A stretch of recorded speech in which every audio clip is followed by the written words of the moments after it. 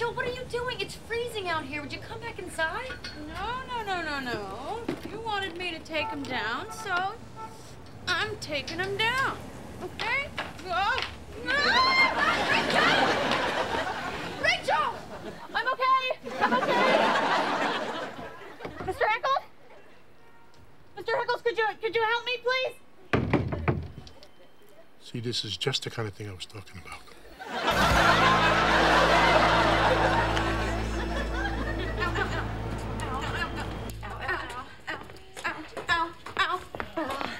Hi.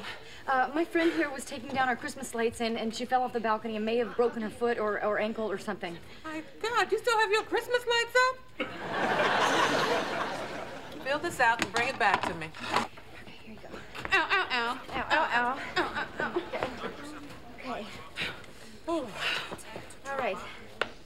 Name. Dress. Okay. In case of emergency call, you. Really? Yeah. Oh, that is so sweet. Oh, gosh. I love you. Insurance? Oh, yeah, check it. Definitely gonna want some of that. You don't have insurance? Why? How much is this gonna cost? I have no idea, but x-rays alone could be a couple hundred dollars. Well, well what are we gonna do? Ooh, there's not much we can do. Um, unless unless I use yours. No, no, no, no, no, no, no, no, no.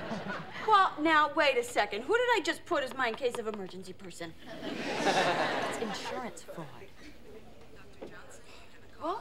Right, then forget it. Might as well just go home. Ow, ow! Okay, okay, come here. I hate this. Thank you. Thank you. I love you. Hi. Um, I'm gonna need a new set of these forms. Why? I'm really an idiot. you see, I was filling out my friend's form, and instead of putting her information, I put mine. You are an idiot.